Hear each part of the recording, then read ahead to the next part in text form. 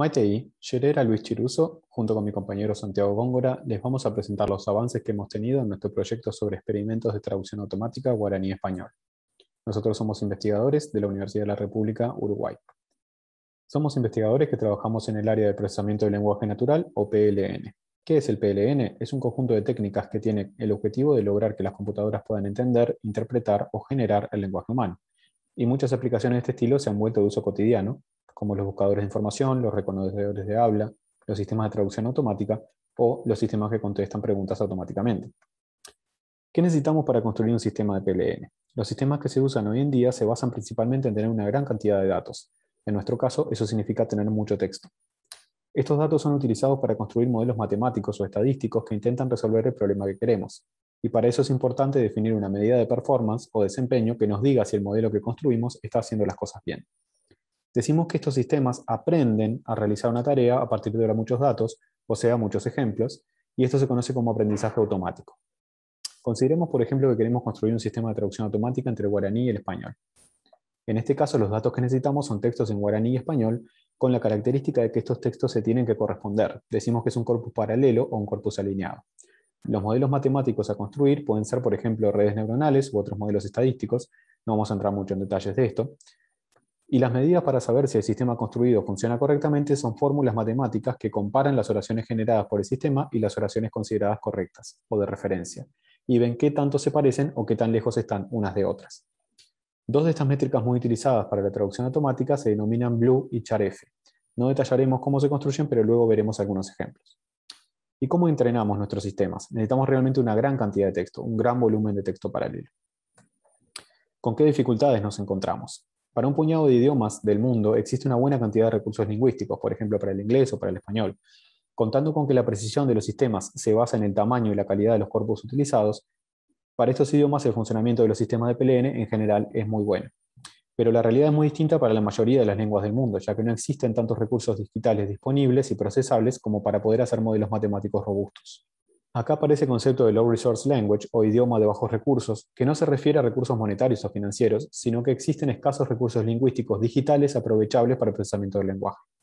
El interés en trabajar para estos idiomas generando recursos, herramientas, datos, etc., está creciendo muchísimo. En particular, la ACL, que es la asociación más importante de investigadores de PLN a nivel mundial, propuso que su tema especial para el año 2022 sea la diversidad lingüística, y con especial énfasis en idiomas de bajos recursos e idiomas en peligro. A continuación les voy a comentar acerca de los trabajos que hemos estado realizando para el idioma guaraní, en particular tratando de construir un traductor automático guaraní-español. El primer trabajo que realizamos fue la construcción de un corpus paralelo, un corpus que tuviera pares de oraciones en guaraní y en español, de forma que las oraciones se correspondieran. Este trabajo lo hicimos con mi colaborador Gustavo Jiménez Lugo, de la Universidad Tecnológica Federal de Paraná. Nuestro objetivo era encontrar la mayor cantidad de oraciones posible por lo que obtuvimos contenido de la web. La cantidad de texto en guaraní con traducción al español que encontramos en la web no fue muy grande, pero al menos logramos encontrar sitios de noticias, en particular ABC Color, y sitios de blogs, en particular el sitio Lengua Guaraní, y otros sitios donde se podían encontrar, por ejemplo, cuentos y fábulas en guaraní con sus traducciones. A veces la traducción se podía obtener siguiendo un link, o a veces estaba la traducción en la misma página. De todas maneras, luego de obtener las traducciones a nivel de documento, era necesario realizar cierto procesamiento para obtener las correspondencias a nivel de oraciones. Para eso intentamos dos técnicas. La primera fue una técnica automática que se basaba en encontrar las frecuencias de combinaciones de letras en las oraciones, pero no funcionó muy bien. A la izquierda se puede ver la evaluación de este enfoque, donde lo verde indica las oraciones que se corresponden perfectamente y solamente llegaban a un 64%. Por lo que realizamos una segunda etapa donde corregimos manualmente las alineaciones y con esto logramos una mejor calidad, que es lo que se ve del lado derecho, donde más de un 84% se corresponden perfectamente. Estos son los datos del corpus que construimos en este primer proyecto. En total unos 14.000 pares de oraciones que contienen unas 228.000 palabras en guaraní y 336.000 palabras en español. Esto es un buen comienzo, pero sabemos que los sistemas de traducción que andan realmente bien suelen tener muchos millones de palabras. Y al analizar el contenido de las oraciones ya comenzamos a ver posibles problemas. Aquí hay unos ejemplos de pares de oraciones en guaraní y en español. En el primer caso, la oración parece estar en guaraní oficial paraguayo. Sin embargo, en los siguientes casos se nota cierto nivel de mezcla y uso de préstamos. En el segundo caso, o renunciata tiene el préstamo de la palabra renunciar adaptado al guaraní, y en el tercer caso directamente aparecen otros préstamos de sustantivos del español. Recordar que estos son ejemplos de texto tomados de la web. En este caso nosotros no escribimos ninguno de los ejemplos, sino que es texto extraído de Internet y representa ejemplos de uso real de la lengua, pero se nota que hay variaciones interesantes. Este año hubo un avance interesante ya que se realizó un workshop sobre el uso de PLN para lenguas indígenas de América, y junto con este workshop se hizo una convocatoria internacional, lo que se conoce como un Shared Task, para construir traductores automáticos que tradujeran del idioma español a varias lenguas indígenas de América. Este workshop fue organizado por Manuel Majer de la Universidad de Stuttgart. Nosotros colaboramos con nuestro corpus de guaraní español y además nos pidieron que tradujéramos un conjunto de 2.000 oraciones en español para realizar la evaluación de los sistemas que se presentaran. La idea fue traducir estas mismas 2.000 oraciones a todos los idiomas de la competencia, como el quechua, el aymara, el náhuatl y también al guaraní.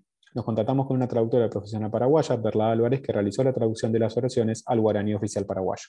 Se presentaron varios equipos internacionales que crearon varios sistemas para todos los idiomas. A modo de resumen, podemos ver aquí los resultados que los distintos equipos obtuvieron para traducir del español al guaraní. El sistema que le fue mejor obtuvo 8.92 de medida Blue y 37.6 de medida Charef. Eso es lo que está en la tabla de la izquierda. La tabla de la derecha es otra variante de la competencia donde podían entrenar con menos datos y ahí a todos les fue un poquito peor. ¿Pero qué representan estos números? ¿Es 8.92 o 37.6 algo bueno o malo? Bueno, sobre la segunda medida que es Charefe no tenemos una buena forma de comparar, pero sí podemos dar una idea de lo que pasa con la medida Blue. Es una medida que va de 0 a 100, donde si uno tiene 100 es que obtuvo la traducción perfecta para todas las oraciones, y obviamente es muy difícil, yo diría imposible, obtener un 100%. Pero, por ejemplo, los mejores sistemas de hoy en día para el par inglés-alemán obtienen un 35% de medida Blue, y los mejores para el par inglés-francés obtienen casi un 46%. Obviamente no se puede comparar pares distintos de idiomas, pero sí podemos aventurar que un valor de menos del 9% de Blue indica que tenemos muchísimo camino por recorrer antes de obtener buenas traducciones automáticas. Lo mismo ocurrió con los sistemas que traducían a las otras lenguas, y en general todos estuvieron de acuerdo que la falta de datos es el problema principal a enfrentarse. Notar entonces en lo que conté hasta ahora que tenemos dos corpus paralelos con características bastante diferentes. El que hicimos originalmente, llamémosle Corpus 2020, de textos extraídos de la web, que es un poco más grande, aproximadamente unas 14.000 pares de oraciones, y otro que está traducido a mano a partir de oraciones en español, hecho a propósito para la competencia de Américas en el PI. Es más chico, aproximadamente unas 2.000 oraciones, y se ha usado solo con fines de evaluación. En paralelo, nosotros estuvimos trabajando en otra forma de poder utilizar los datos que tenemos de una manera más eficiente para poder mejorar un poquito los resultados. Decidimos intentar aprovechar las características del guaraní, que es un lenguaje polisintético aglutinante con una morfología muy rica, y surgió la pregunta de si podríamos extraer información interesante de la morfología para mejorar las traducciones.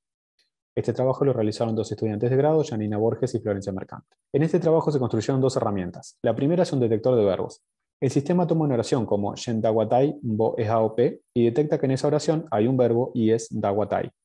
Luego tenemos un segundo sistema que toma ese verbo y lo analiza descomponiéndolo en sus atributos morfológicos, como que es de primera persona del singular y está negado. Entonces probamos construir diferentes sistemas de traducción automática, pero en vez de presentarle los verbos tal cual están escritos, los transformamos de diferentes formas para poder incluir explícitamente la información morfológica.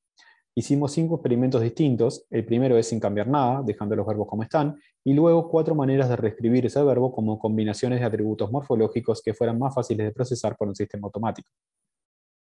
Llegamos a la conclusión de que es posible usar la información morfológica para mejorar los resultados, pero no en todos los contextos. El resultado de la izquierda es el caso base sin usar ninguna información morfológica. El sistema llega a un 17.4% de medida blue y el mejor sistema con atributos morfológicos llega a un 20.3% de medida blue obteniendo una mejora interesante. A primera vista parecería que estos resultados son mejores que los obtenidos por la competencia de Américas NLP, pero cuidado, hay dos diferencias muy importantes. En primer lugar, estos resultados son en la dirección guaraní-español, o sea, el sistema intenta pasar de una oración en guaraní a una oración en español, y en Américas NLP era al revés. En segundo lugar, las oraciones sobre las que estamos calculando esta medida Blue son oraciones del Corpus 2020, el primero que les expliqué, que contiene artículos de noticias y blogs, y no el corpus de las oraciones de Américas NLP. Las características de estos dos corpus son muy diferentes y eso explica en parte los números muy diferentes. Además del análisis morfológico, otro experimento que realizamos para fortalecer la traducción automática fue el uso de vectores de palabras. ¿Pero qué son estos vectores de palabras? Bueno, los vectores de palabras intentan modelar el significado de las palabras según el contexto en el que aparecen. Por ejemplo, en estas dos oraciones, el otoño es una de las estaciones del año y el verano es una de mis estaciones favoritas, podemos ver que otoño y verano aparecen en contextos similares. Por lo tanto, los vectores que representen a las palabras otoño y verano van a estar cerca o bueno, van a estar más cerca de lo que estarían con respecto a vectores que representen otras palabras, como por ejemplo hamburguesa. Entonces para esto expandimos el corpus paralelo que previamente les presentamos y además recolectamos una serie de tweets en guaraní. ¿Cuántos? Bueno, más o menos 9.000. A esto le agregamos la Wikipedia, que cada día crece más, el libro de Mormón y la Biblia. Todo texto en guaraní. Acá podemos ver, por ejemplo, uno de los modelos de vectores de palabras, cómo logra agrupar diferentes palabras eh, que están señalizadas con un color según la categoría a la que pertenece. Hacia arriba, por ejemplo, tenemos los colores, hacia la derecha en negro tenemos las fechas, en el centro podemos ver países, etc. Acá vemos cómo le fue a los modelos de traducción que utilizaron estos vectores de palabras. Podemos ver que en el caso de guaraní español, la tabla de la izquierda, el experimento 1, que usó vectores de palabras, fue el que obtuvo el resultado más alto. Si lo comparamos con la información morfológica, que fue el experimento presentado anteriormente, vemos que son superiores. Mientras que el experimento con vectores de palabras obtuvo 22,64 en la medida blue, la información morfológica logró tener un 20,30% de medida blue. En el otro sentido, desde español a guaraní, vemos que también tiene una muy buena performance estos modelos. Mejora con respecto a no tener vectores. Sin embargo, podemos ver que al evaluarlo sobre el corpus de Américas en el PIB, esta performance decrece drásticamente. Esto tiene que ver con la naturaleza de los textos que están en cada uno de los corpus de testing, tanto en el de TEST 2020 como en el de Américas en el. Acá podemos ver algunas de las ejemplos de traducción desde guaraní a español. En la primera columna tenemos la referencia en guaraní, en la columna del centro la referencia en español, es decir, que era lo esperado en la última columna, lo que tenemos es la predicción que realizó el modelo.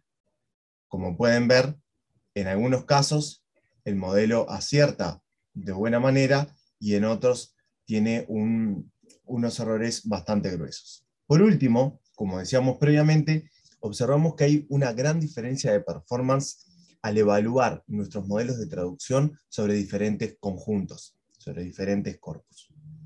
¿Por qué pasa esto?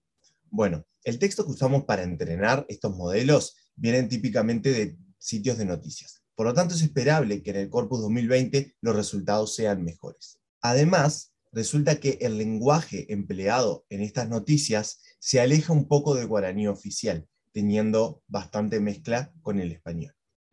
Por otra parte, en el corpus de Américas NLP obtuvimos una gran baja de los resultados, llegando a tener casi 25 puntos menos de, en la media char F. Creemos que esto se debe a la gran diferencia que hay entre la naturaleza de los textos de noticias que usamos para entrenar y la naturaleza de los textos de Américas NLP, que entre muchas otras cosas tienen transcripciones de llamadas a emergencias de 911. Estos textos además fueron traducidos por una traductora buscando utilizar el guaraní oficial. Es decir, hay una intención de utilizar el guaraní más puro posible, casi sin intervención del castellano.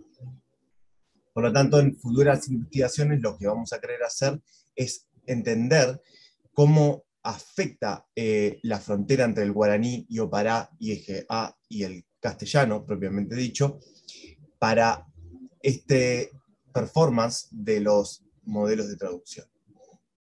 Así que eso es todo. Muchas gracias.